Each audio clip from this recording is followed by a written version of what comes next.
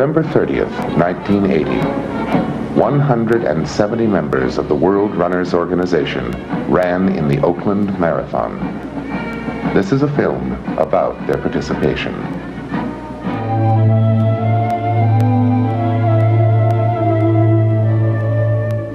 If you have any interest at all in supporting your own well-being, your own balance, your own physical fitness, if there is any truth at all to that this body is a temple from which we take ourselves into the world, absolutely use this opportunity to turn your temple into besides a purely personal experience and a purely personal endeavor into something that just may support the difference in the world.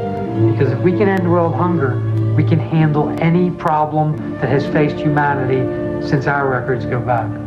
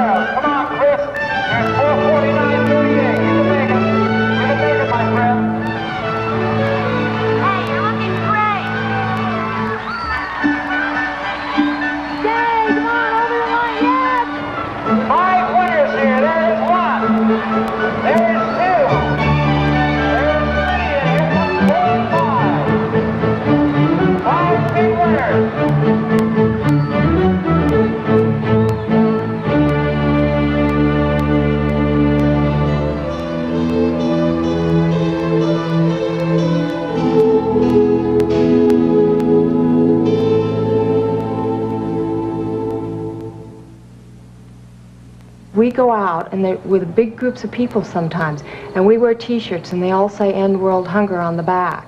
And we go out and, and you know we're normal people all different types and sizes and little kids and old ladies and everybody. And uh, we go to races all together and we talk about ending hunger and starvation in the world. And when we're there you know all the other people see us. And and their mind goes from oh i thought i thought hunger was inevitable and that changes just a little bit. It changes like, well, maybe it's not. Gee, all these people are doing something about it. And maybe the next time they see us or they see our picture in the paper or something, their mind will go, oh, that may be really a possibility.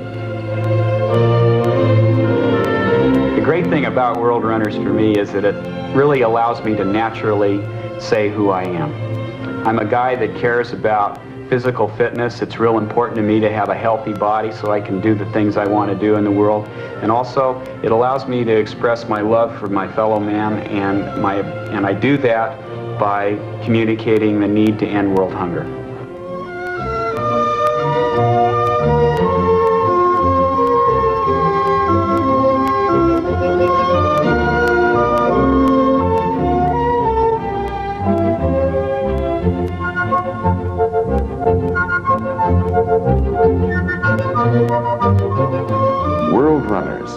Founded by Landon Carter in 1977, has members in 50 states and 17 countries.